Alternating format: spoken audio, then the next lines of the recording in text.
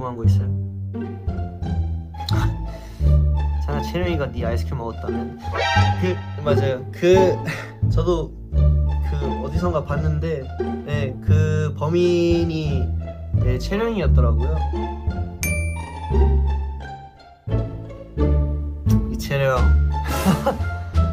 너였구나. 어 저는 리안 줄 알았거든요. 처음에 지수인 줄 알았는데. 채령이었구나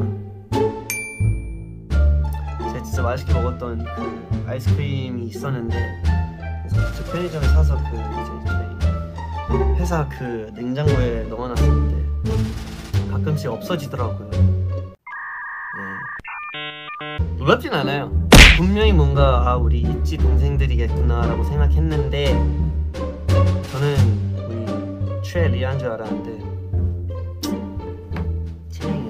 맞아 리진인 것 같기도 하고 뭐 여러 가지 같다는 생각도 했는데